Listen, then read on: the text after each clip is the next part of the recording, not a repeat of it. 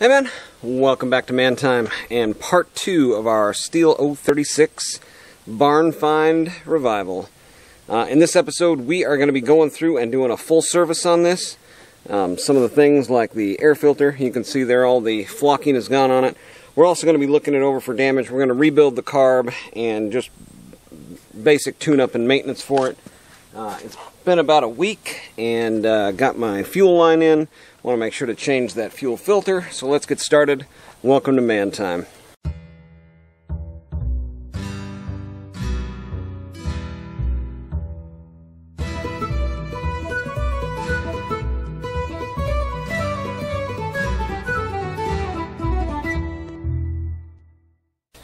So one of the first things you want to do before you start tearing into everything like this is get it all blown out. So I've taken uh, compressed air, blown the whole thing out, and now I want to check for compression. I want to get baseline data. Oh, look at there, CJ7. Yeah, the problem with these plugs though is this piece right here, right? The little end piece that screws on. I think I'm going to go ahead and replace this one out. Um, looks like it was running, and you can tell from the plug here a lot too, right? We want to be looking at that plug. We can see there it is a uh, light brown and super clean burning actually. I mean this looks like either a new plug or something, but you can see there it was probably running a little lean and that uh, pinched fuel line inside the tank could have been the reason there and could have been the reason why it was parked. But let's uh, let's get a compression test here and see what we are working with. Again, it feels super stout as far as the compression, but let's just get a reading on it. Now, one other thing um, I'm noticing here, and I want to get down here and see if I can see the manufacturer on this uh, cylinder. It looks like it looks like a uh, aftermarket. It looks like a Farmertec almost. Let's. Uh, okay, we're right there. Just uh, just right around 150. So good compression. Um, shouldn't have to worry about that. So we'll call that good. Uh, next thing I want to do is get the carb and this bit off the end of it here because I think that is going to be critical in changing out the fuel line. But while I'm in there, I definitely want to remember to change out the fuel line. So we'll focus on this area right here. We also want to be looking at our uh, vacuum line, making sure that it doesn't have any leaks, uh, tears, rips. And same with our boot while we're in here. But I'm going to put this spark plug back. In the meantime, uh, some of the tools you're going to need for this, you're going to need a T27 mainly. And just so has it, uh, Harbor Freight has a kit uh, with a you know T27 in it. If you want to get some of the long shank bits for this one, you're going to be paying for them. I uh, I looked like on Amazon, um, and it was 50 bucks for like the cheapest one, you know, for the long regular shank or whatever. So you're going to need this. Uh, and then just some other standard tools, flathead. Um, I don't know. We'll we'll see how much more we need once we get into it here, but shouldn't be too much else. Okay, uh, let's start taking this top end apart. All right, so flathead got that filter off of there, and then we've got some standard carburetor uh, stuff going on here with some 8 millimeter nuts, um, and then we've got oh geez, well, that's. Uh, That's an interesting choke lever. There you can just roll it out of the way. Pretty convenient.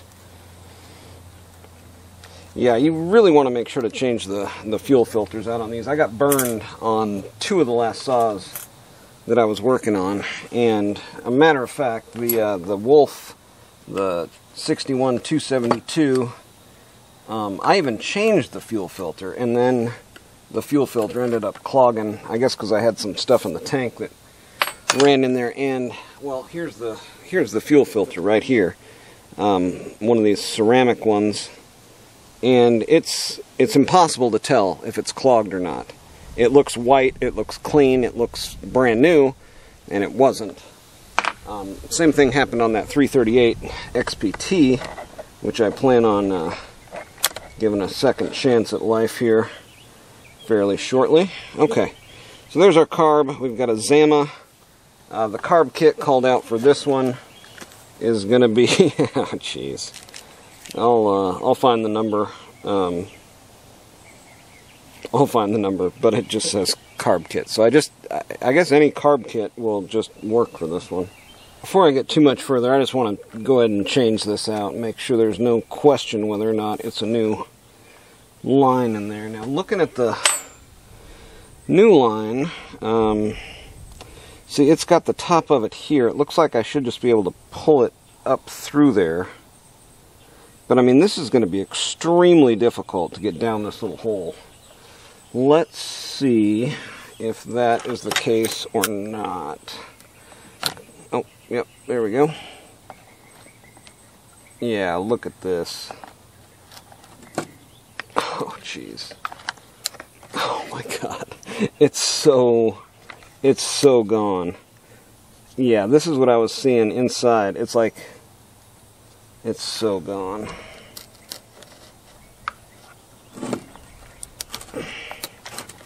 Oh, I guess that's the filter. Yeah, look at how look at how chewed up. Oh yeah, there was well, that might have been me just then, but that would definitely be part of our problem there, wouldn't it? Okay. So this is in an attempt to get like the hardest thing out of the way first, I guess. Um, I like to do that. And just so I never have to worry about fuel filters anymore, I got this bag of like 10 off of eBay for 20 bucks or something. And what's really cool, like I thought, you know, if if you're just seeing this, you'd be like, oh, well, those are kind of junky. They're um, they look heavy or they look cheap or, or whatever. This is actually the original Walbro designed chainsaw um, filter that was in that original Stihl uh, so, I'm thinking that's a pretty good filter. There we go. But, on the other hand, I really like this design. Oh, this is still a Stihl. Look at there. Cool. But, yeah, you really don't want to get burned, you know, on a really nice saw because of a fuel line or a fuel filter. And I just kind of got well, I, am I'm, I'm gun shy now, right? It's, it's burned me, burned me a couple times. Um,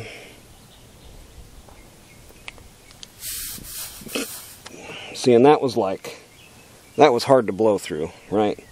So this could have been part of the problem too. Now I can blow this out with brake clean, and it might get a little bit better. But so here's this one. Uh, it's hard to blow through. Let's try one of the new ones.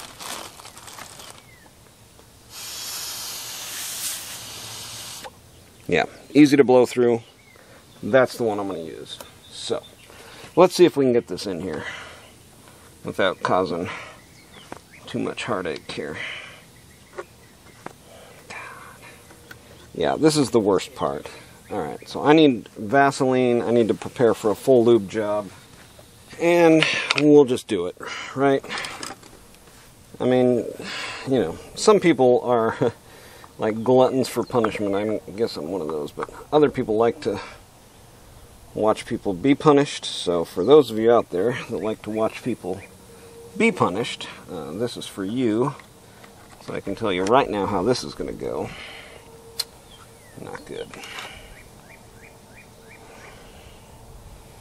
Okay, I know I had one of these around here. this is going to be the easiest way. Just kind of pinch it and jam it.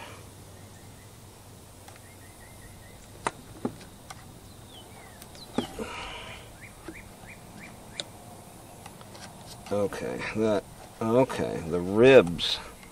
The ribs are there to help you push it through. that is a smart design. Okay, I found the way to, to do this here. It's with a needle nose and just pushing it rib by rib. And then once you get down this far, I think you can just, uh, well, I don't want to go jamming it through there. All right, give her some lube. Yep. Okay, now, little flathead maybe? Alright, so when you're doing this with a, with a flathead, you want to get the side that's hardest to start first. And then work your way around to the sides that you can see and are easier to get.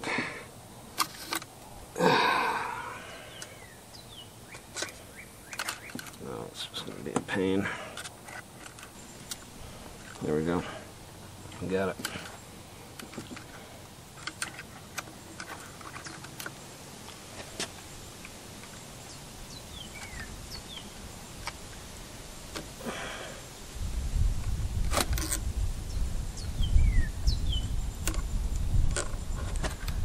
Yeah, that's it. Just keep mashing it down in there. Eventually it'll seat its way in there. Okay, that is done. See now, for the tricky part, now we're playing operation. Right now we've got to get our fuel filter on the end of it here. Oh, maybe not so bad. It looked short, and that's why I say that, but look at what I got here. Let me grab a hold of this old girl. There it is. Got it. Okay, little lubie on there.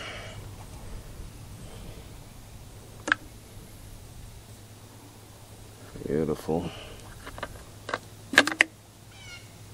That's it. Perfect. I know this might be repetitive for some of you out there, but when I was first starting out, I had no idea how to rebuild a carb. So let's rebuild a carb like I'm doing it for past me, and uh, hopefully he learns something from this. Makes his life a little bit easier. Okay, so first thing here, you've got a screen right down there. Now this was the side with that single bolt right through the middle. And this does not look bad. Man, it looks like the previous owner might have done this uh, in an attempt to, you know, fix his fueling problem, which may have even burned up the cylinder and caused for a uh, caused for the new jug to be on there. But I'm going to blow this out, and then we'll get this screen out of there. To get this screen out, all you have to do is reach down there with a little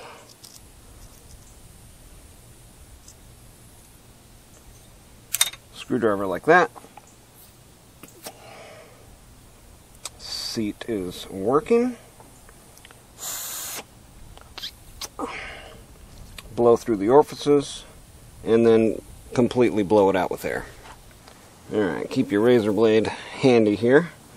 Gonna need that to get all these gaskets off of there. See this gasket, gaskets don't come off that easy. So I'm thinking this was a newish kit on here.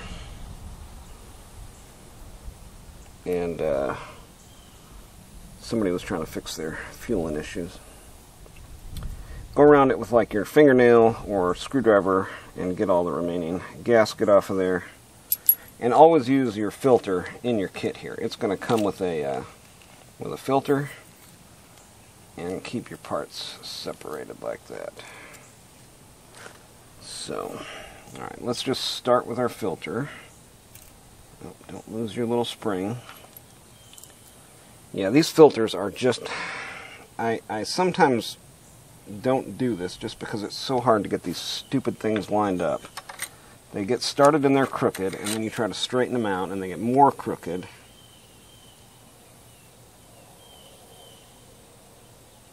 And as I say that, I get that one in there perfect, but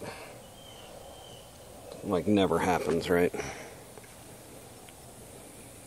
So there's our new filter in there. Okay, then just match up uh, gasket, and we can just put it right on the top here. Going to be the easiest way to get it lined up. And then same with this one, it's going to line up on the top. So you've got these orifices going on inside of there that match perfectly up with that gasket and then just Same on here, as you go to set it down, you've got those line up dowels that are going to help you line it up in there. So that's the pumping side with those uh, those flappers. So that's it's kind of the valving side. This is kind of more the pumping side down here, but either way. And you saw that the uh, it's this piece, then that uh, gasket piece, and then that piece with the flaps. The thinner the thinner piece goes against here.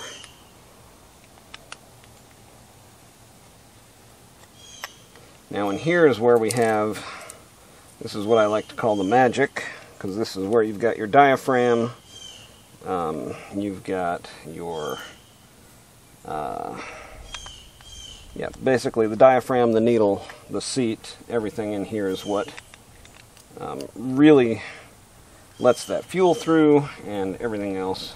Metering lever, I guess is what it's called. So, all that good stuff. Ooh. Okay. Yeah, just another quality Zama carb here. Now this part here is where it gets interesting, right? Because you've got this little... yeah, that was Loctited in there.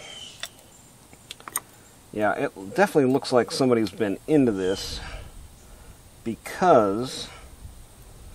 Um, and that looks perfect. Sometimes there'll be like a ridge around there, and that can be a sign that you have not a good sealing surface. But this this looks stock in here, this uh, sealant. You want to check your seat, look down in there, make sure there's no debris, anything in there. Again, blow it out. Alright, so we'll go back together the way we came apart here. We'll start with our needle. Nice and rubbery.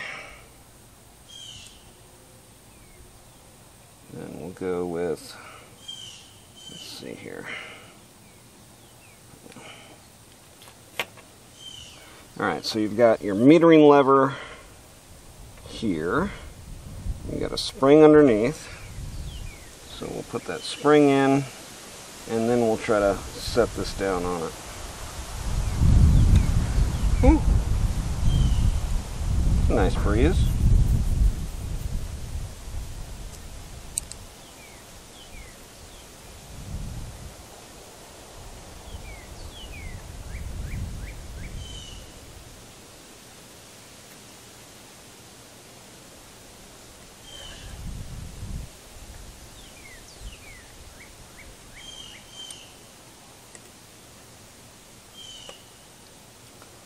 Again, you really just want to change this stuff out. You've got the kit. It comes with all this stuff.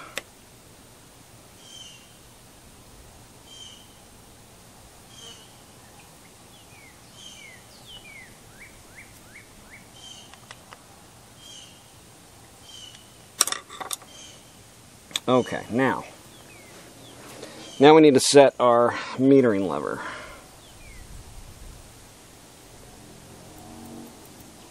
And one way you can do it is just to lay something flat across here and check it like that.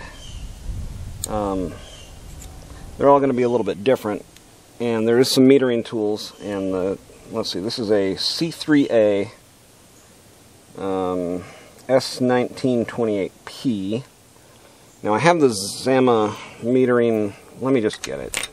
Alright, so here is our Zama metering tool. And you can see on there, it's got some letters on either side of it there, telling you like what kind of carb equals what distance and all that. So right there you can see C3A, right?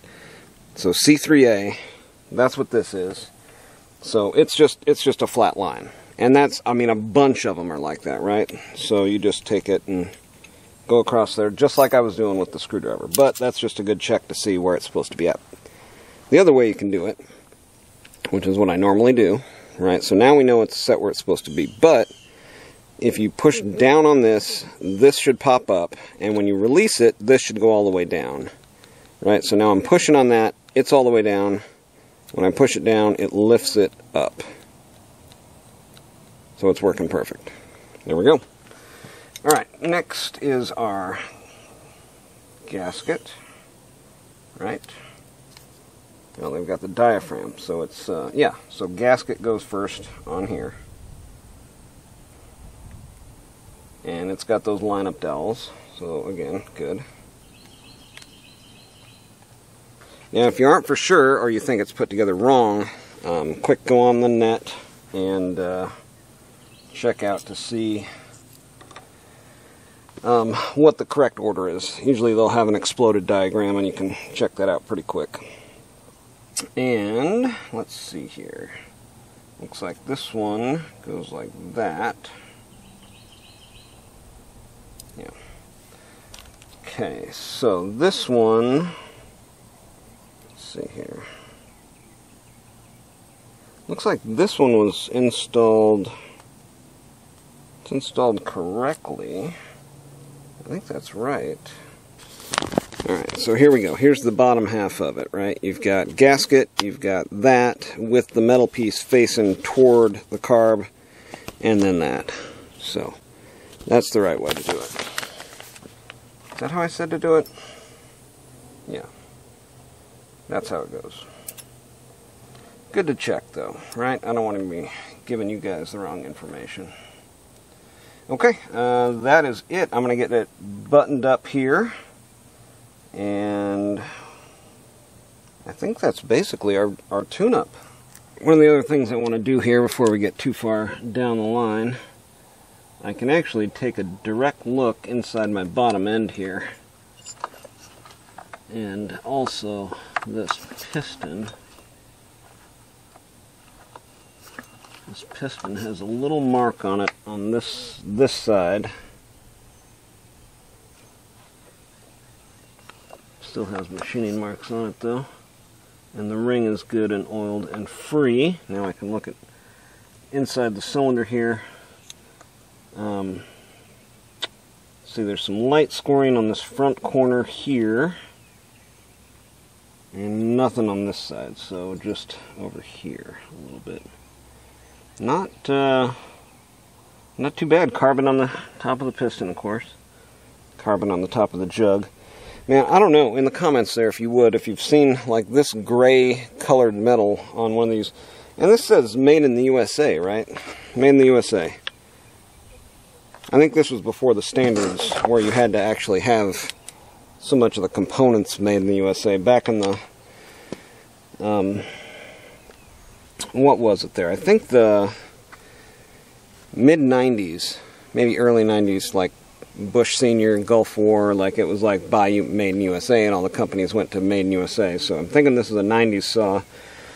Um, I, I think back then they didn't have to have the stringent kind of like you have to have so much components actually manufactured in the USA like they do now because you've got the made in Hong Kong you know, carb, and if this is a made in USA cylinder, I would love to know where it was cast at, because that is just cool. Uh, clean off your mating surface right around here where your spark plug is going to mate up. You don't want any of that dirt or anything uh, holding up that seal. And see this NGK. So I went with an NGK uh, BPMR 7A. I think that's what it calls out for. This has got that uh, end cap on it that's not unscrewable. So I think we're going to be good there. So what do we know? We've got spark, we've got good compression, now we've got a rebuilt carb, we've got a good uh, fuel delivery in that we have a new fuel line and a new fuel filter And that again we can blow through and we know it works. Uh, I did go with a cheapo um, air filter, so you know, is what it is. Uh, trying to find one of these at your Stihl dealer or on eBay is pretty tough, so we'll go with that. Looks to be the same. Anyways, we'll get this back together, see how it goes. Alright, let's just go through this process, because there's like a lot of stuff kind of going on here, right? So on this one, you can see here, this sits down here like this. It's got high-low idle adjustments, right? So this goes this way. Um, that's going to go there. And then this hooked in with the throttle open, I believe. There we go. Make sure to get your fuel line down and out from behind there. Let's just get that hooked up while it's in our teeth here. It's always good to have, you know, a little bit of a guide when you're doing this right and not just have skips or stuff to where you're kind of left asking questions at the end of it. So this here goes there. How the heck does this thing work? See, this is the type of stuff. You get this far, and if I hadn't showed you that, then now you're stuck trying to figure it out. But let's see, I just rolled it forward like that the first time. Alright, so here's run. This should be choke. So when it chokes, it should push that like that, right? So why isn't it doing that? Hmm. Is there a piece I'm missing here? Feels like it should rotate up. Oh, there it is. Okay, it's half throttle. And now it's choked. So it sets half throttle and then unchokes. Okay, got it figured out.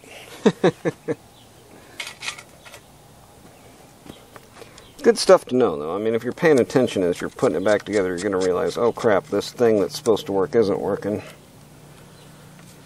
But, a little clever deduction like that, get it figured out. One thing I don't like about this is, like, the top cover sits down on here, and then, yeah, then the spark plug goes in. It's just kind of weird. I mean...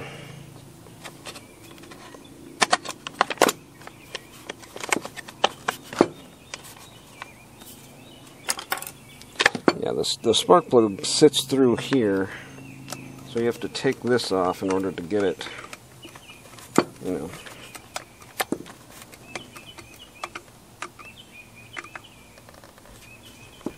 There you go.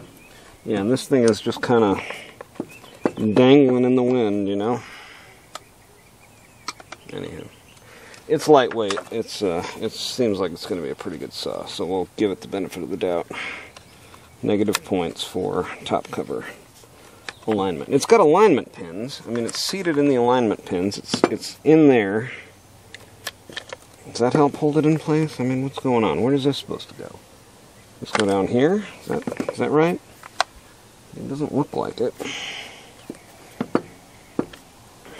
Maybe. Maybe it is.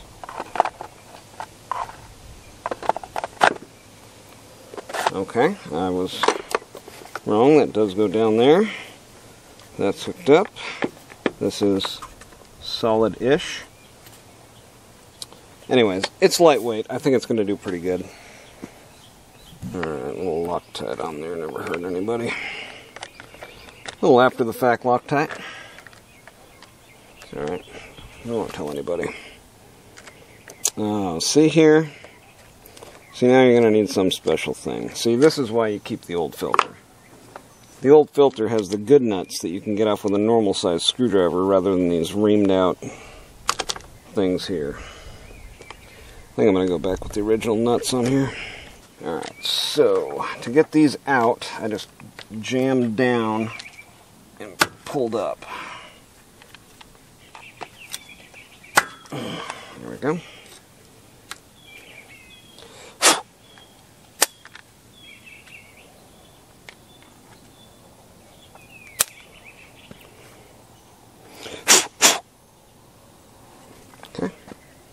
Looks good to me. Put this back together. Make sure it's snapped around all the way. Put it back on here. The last thing is to get these tightened up. See how much easier that is with having that just a small hole there? Much rather have that on there. So much easier in the field to get that off of there when you're hot, sweaty, and uh, tired from the day than trying to get your scrench because all you're going to have is your scrench, right? and you can just stick that in there and use it like a screwdriver. But here, well, I guess that isn't really proving my point, but that's a worse design.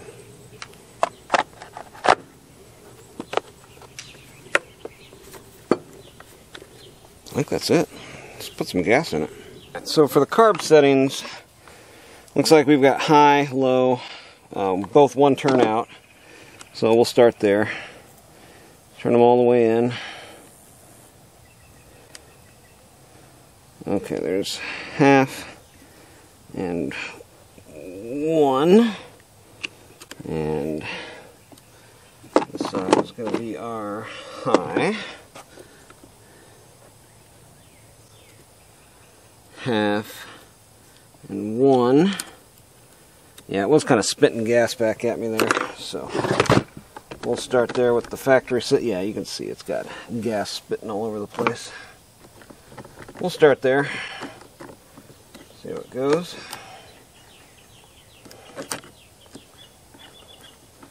I'm really curious if there was a USA cylinder manufacturer that we couldn't be getting our stuff from though, huh? Right? Alright, trying it with uh, one and one.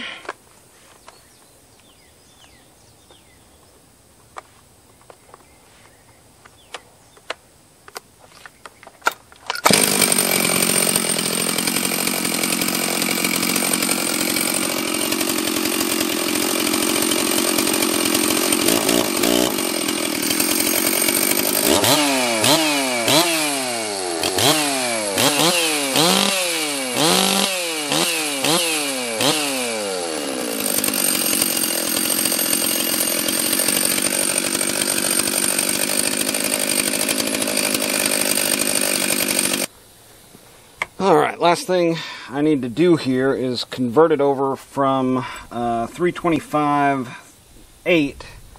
So this has a 325 8 on it. I didn't know that. Um, but I knew it had a 325 on it. I want to convert this over to a 3 8 uh, 7. So I went down to my local Stihl Husqvarna dealer, got a new 3 8 7 sprocket because I didn't have one this size. This is a smaller opening. I had some spare Husqvarna ones. Let's just show you here. So here's a, um, yeah, so here's one for one of my Huskies, 387, and you can see how much bigger it is, right? That whole size, it's just, it's not the same type of thing going on there. So you have to get the Stihl ones, I guess that's going to be different, this hub. And then while we're in here, we can check for wear and check our clutch springs. Uh, yeah, those seem okay.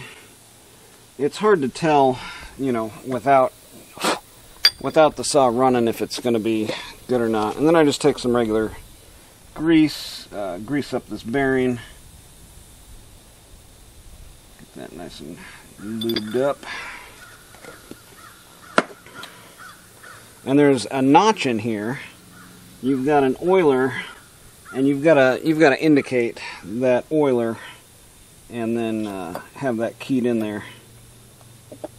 If you don't it doesn't quite sit right on there. See there it slipped in a little bit? That's where we want to be. All right 387 we've got everything inspected. Let's see how it's going to run here so I've got this one off of my 031. Uh, it does actually fit on here. It's got that same, you know, wider Stihl pattern on it there. And then I also grabbed the chain off of it since I'm not using that one. So we'll get this on here and then we'll try to fire it up and then we may need to tune some more to get it to idle to where the chain's not spinning, but hopefully it's set pretty close. Alright, we got our chain tensioned up the way that I like it. Nice and smooth. Rolls over easy. Still good and sharp. This will be a good comparison. This saw is the same CCs uh, as the 261 that I was using to test it against in the first one, but so this one had the 325.8 and the other one had a, a 387. So now they're set up both 387, both uh, 61 cc's, uh, 48 millimeter bore, 34 millimeter stroke. So basically the exact same displacement on them. This one's going to have the two ring piston, the other one's going to have the single ring, and then it has that little additional hole in the muffler. But this looks pretty free flowing. Let's uh, let's see how we're doing here, and then do another test up against that 261. All right, let's see how she restarts here. She's pretty cold. May want to give it some choke. One other thing you want to do, once you get it tuned in like that, uh, you want to take your screwdriver, turn it all the way in till it stops, and turn it all the way out. Um, or count the turns as you're turning it in so you've got a baseline settings uh, for your machine. So I was just about one and an eighth out on both high and low for you know, so I'm just right there almost at factory settings. So we'll just see how it goes here. Try to start it cold.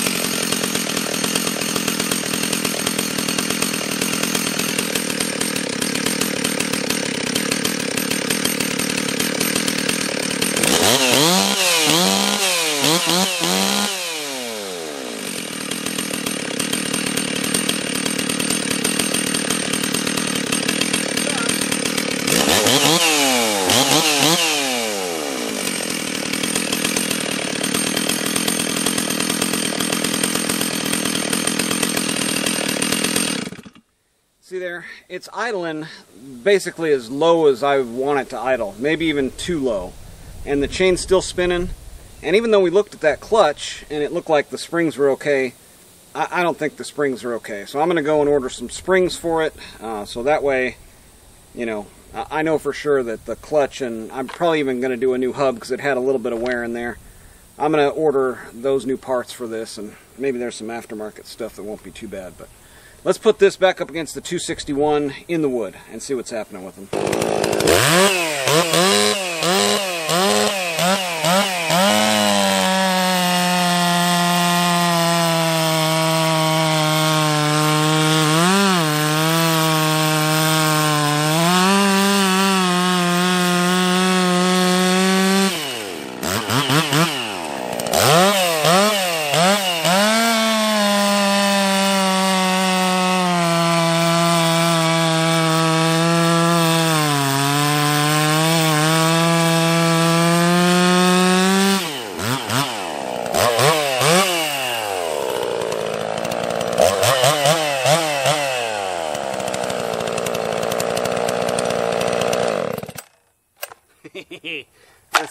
Running saw.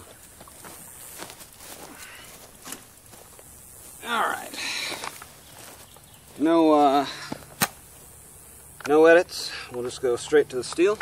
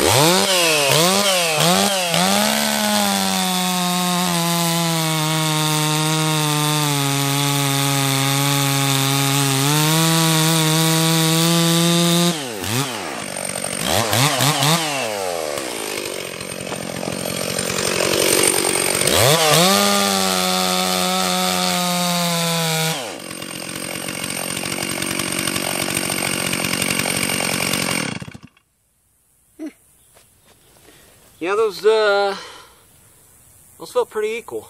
Um, man, I actually feel like the 261 Uh, not by a large margin, but definitely beat this out. So I'm going to leave that one stock, and I'm going to port this one, and we're going to go in the next episode on to phase three with this one, where we're going to be porting it, probably doing a pop-up piston, uh, new rings, caber rings, and, uh, and a full port job, and maybe a muffler mod, and just take it all the way, and see what kind of power we can get out of this. I'm also going to order some clutch springs. We'll get that sorted out.